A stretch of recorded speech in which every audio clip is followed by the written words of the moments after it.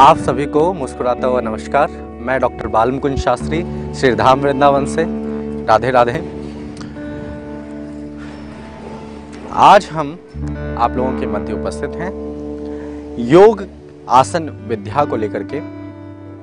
आज हमारा विषय रहेगा योग आसन द्वारा। योग द्वारा हम किस प्रकार अपने डायबिटीज़ को रोक सकते हैं? स्वस्थ कर सकते हैं, ठीक कर सकते हैं। तो आइए जानते हैं थोड़ा सा डायबिटीज़ के बारे में। डायबिटीज़ मूलतः जो आमतौर पर देखी जाती हैं, वह दो प्रकार की होती हैं, जिसे हम लोग टाइप वन और टाइप टू बोलते हैं। इंसुलिन डिपेंडेंट और नॉन इंसुलिन डिपेंडेंट जिसमें एक में इंसुलिन की आवश्यकता होती है, एक में इंसुलिन की आवश्यकता नहीं होती। तो अब हम लोग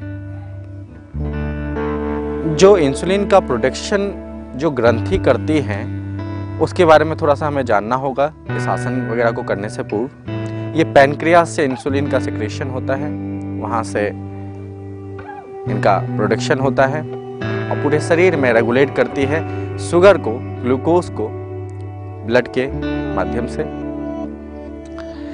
अगर ये इसमें थोड़ी सी भी खराबी आती है तो इंसुलिन या तो कम होने लग जाता है या फिर अधिक होने लग जाता है। तो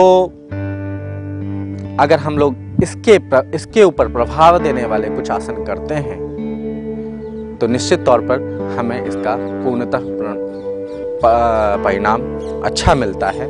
और मैं मैं कह, मैं कहता हूँ कि कम से कम ये समझिए कि 99.9 परसेंट तक व्यक्ति ठीक हो सकता है।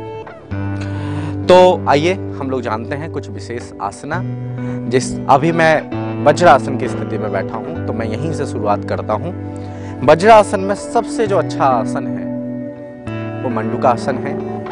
मंडुका आसन के लिए हम लोग मुट्ठी बना लेंगे, अंगूठे को अंदर की ओर, पूरे उंगली उसके ऊपर, और नाभि के दोनों साइड या फिर नाभि के नीचे हल्का सा प्रेस करते हुए, सांस को छोड़ते हुए आगे की ओर झुकेंगे और सर को ज़मीन से लगाने का प्रयास करेंगे।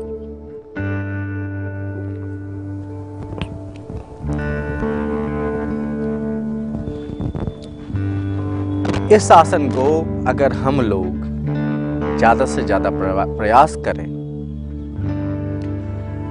ज़्यादा से ज़्यादा अभ्यास करें तो निश्चित तौर पर हमें यह पेनक्रियस को स्टूमुलेट करने में, उस पर प्रभाव डालने में लाभ, लाभप्रद सिद्ध होगा। तो ये था आपका मंडुका आसन